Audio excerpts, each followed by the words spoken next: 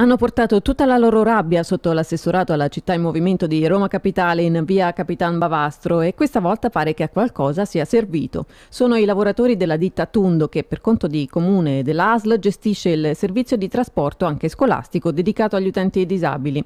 260 i dipendenti in tutta Roma, una cinquantina soltanto nel decimo municipio, da cinque mesi sono senza stipendio, TFR, rimborsi del 7,30 e 14. A causa di un contenzioso tra la società e l'amministrazione amministrazione. Ora finalmente il Campidoglio sembra aver preso in mano la situazione. Roma Capitale, si legge in una nota ufficiale, ha messo in atto ogni iniziativa di propria competenza nei confronti dell'azienda, al fine di garantire il corretto pagamento degli stipendi.